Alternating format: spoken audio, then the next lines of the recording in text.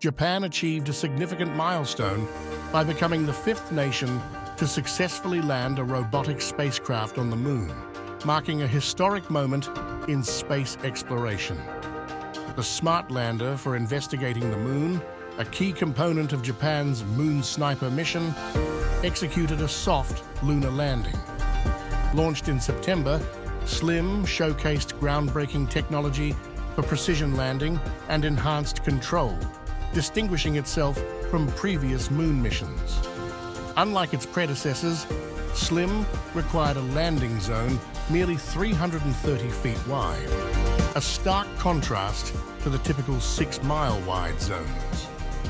While awaiting confirmation on the precise landing coordinates, officials affirmed that Slim had touched down near the Shioli crater on the moon's near side.